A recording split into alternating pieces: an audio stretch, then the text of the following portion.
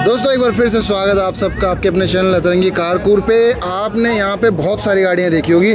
आज की इस वीडियो में हम देखने वाले हैं एक बख्तरबंद गाड़ी, महिंद्रा की मार्क्समैन। ये सामने आप देख रहे हैं, ये पूरा बख्तरबंद, जिसे कह सकते हैं बुलेट प्रूफ भी है। हैंडल चेक करो भाई, इसका जो ओपनिंग हैंडल है ना, ये भी कुछ अलग ही तरीके का है और अंदर का इंटीरियर हम दिखा नहीं सकते, कुछ सिक्योरिटी पर्पज़ की वजह से।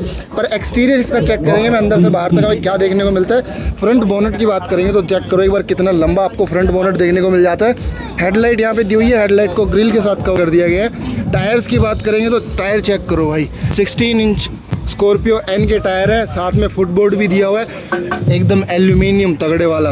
पीछे भी फुटबोर्ड मिल जाता है, यहाँ पे दो छोटे छोटे छेद मिल जाते हैं ताकि बख्तरबंद गाड़ी है अंदर से निकालने के लिए। समझ रहे हो ना क्या निकालना है? हथियार। ऊपर एक प्रोटेक्टिव शील्ड दी हुई है इसके अंदर। सामने की बात करेंगे शीशे की तो बिल्कुल छोटा सा शीशा है और हर शीशे के ऊपर ये वाली जाली दे के पूरा कवर कर दिया गया ताकि पत्थरबाजी होवे तो बच जावे आदमी। पीछे की बात करेंगे तो पीछे का लुक कुछ ऐसा आता है, पीछे में आपको एक बड़ा दरवाज़ा देखने को मिल जाता है। ये चेक कर रहे हो और पीछे एक कैमरा भी लगा हुआ है ताकि चीज़ें कवर होती रहे। मार्क्स मैन ये महिंद्रा ने बनाई है। पीछे का फुटबोर्ड चेक करो आप एक बार ज़रा। आदमी लेट जावे तो भी कोई दिक्कत नहीं है। ये पीछे से घुसने के लिए होता है इसमें, क्योंकि साइड वाले डोर नहीं है। साइड में इसमें दो ही डोर है और एक पीछे थ्री डोर गाड़ी होती है पूरी की पूरी। और चेक करेंगे इसके सस्पेंशन की तो भाई चेक करो। नीचे का तो कुछ दिखेगा ही नहीं इसमें। पूरा पैक कर दिया गया। बख्तरबंद का मतलब कि ये हर चीज़ से बचा सकती है।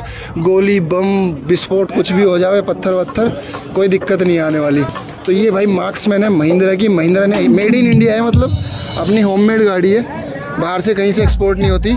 और काफ़ी लुक वाइज बहुत तगड़ी है भाई एक बार चेक करो और कमेंट बॉक्स में बताओ आपको कैसी लग रही है गाड़ी। लुक वाइज तो काफ़ी तगड़ा लुक आ रहा है इसका। फ्रंट का इसकी बात करेंगे तो फ्रंट में आपको जो रेडिएटर है वो काफ़ी अंदर देखने को मिलता है। ताकि कुछ हमला हमला भी हो तो भाई इतनी जगह बचे ताकि रेडिएटर को कोई दिक्कत नहीं हो।